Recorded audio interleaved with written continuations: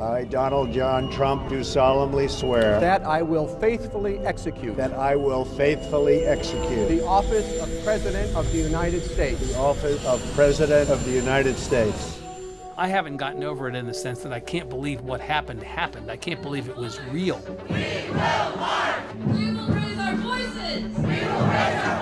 rise of Trump has absolutely energized the left. We march to express our deeply held value that science matters. The resistance is the thing. I divide the world into combatants and civilians. What Donald Trump has done has converted more civilians into combatants. We're living in woke nation. You have people showing up at town hall meetings. They look around and they see like minded people for the first time, and suddenly there's possibilities. November may suddenly become important. I'm not going to believe that any of these outbreaks of resistance will amount to a hill of beans until I see the same people who are carrying signs in these marches show up to vote when really you can affect the lives of people. Otherwise, it's just theater.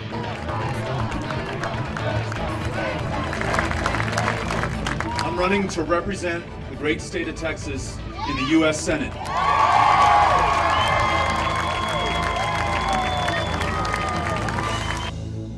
The question, of course, is who is Beto O'Rourke? Beto O'Rourke was a former member of the El Paso City Council. First of all, just the name Beto O'Rourke. Young guy, handsome, looks like Bobby Kennedy. A congressman from El Paso, a former rock musician, a high tech entrepreneur, not beholden to the traditional Democratic organizational structure. One of two members out of 535 in Congress that takes no corporate money, no PACs. No Democrat is seriously competitive in the absence of a scandal or an asteroid falling on the Republican candidate and killing them. I'm not sure even if an asteroid fell on Ted Cruz and killed him that he wouldn't win that race anyway. He is the foremost advocate for full repeal of Obamacare. Please join me in welcoming U.S. Senator Ted Cruz.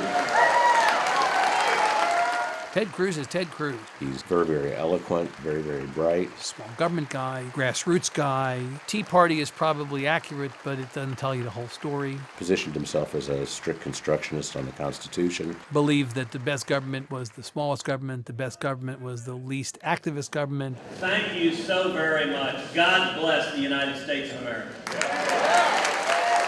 Ted Cruz has not succeeded by playing nice or making friends. He's succeeded by doing the opposite. Speaker Boehner and Leader McConnell had promised there will be no shutdown, so therefore they will fund every single priority of Barack Obama's. Ted Cruz repeatedly called out his own Republican leader. The Senate's Republican leadership swinging back at Senator Ted Cruz. John Boehner saying that Ted Cruz is, quote, Lucifer in the flesh. The story was that in his first year, he could have been murdered on the Senate floor and nobody would have reported. He is who he is. This is not a state that is receptive to a Democratic candidate for statewide office. In the last senator election, the Democratic opponent to Ted Cruz lost by more than a million votes. How do you hope to address that? Well, we can keep doing things the same way and expect a different outcome.